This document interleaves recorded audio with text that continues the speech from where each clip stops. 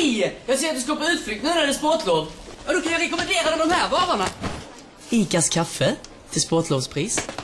Och till familjen, Ica grillkorv, två paket för 25 kronor.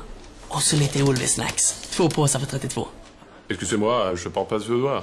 Ah, vous parlez français J'ai un spécial spécial pour vous, hein